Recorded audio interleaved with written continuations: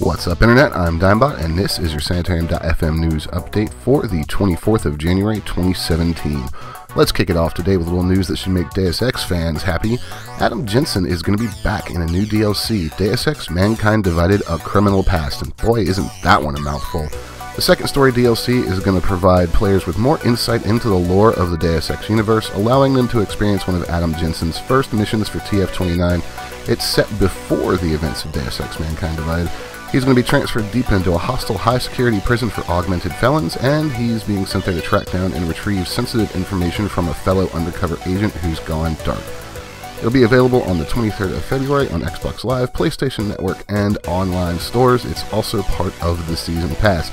So there is more content coming, and I'm happy because that was a pretty good game and I had a lot of fun with it. Moving on today, Frontier Developments, the developers behind our favorite other little space game, Elite Dangerous, have released some financial reports, and, well, things are looking good for the developer. In their financial statements, they revealed that by the end of December 2016, they've sold over 2.1 million paid franchise units of Elite Dangerous. Now, there's some debate over whether this means just the game or if it means the game and paid add-ons like paint jobs, ship packs, things like that.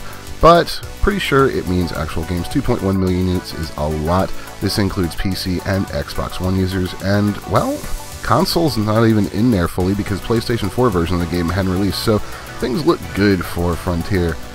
They had 18.1 million pounds worth of revenue for the six months ending November 30th, 2016. So for a developer that size, that is extremely healthy and means we should see a lot more continued development for Elite Dangerous and hopefully some more franchises like Planet Coaster getting some love. Finally up today, guys, well, you may have noticed that there's no PC release date for Friday the 13th. There is a good reason for that, why it still has the early 2017 release date. It's actually the console certification processes. They don't want to put a release date on until they're sure that they're going to pass the console certification process, and, well, there's some problems with that.